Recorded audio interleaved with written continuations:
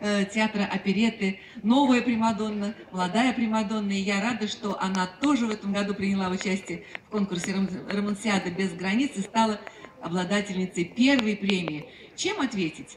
Наверное, чем-нибудь серьезным и прекрасным. Итак, «Аве Мария» в исполнении звезды Московского театра оперетты Екатерины Чудотворовой. Thank you.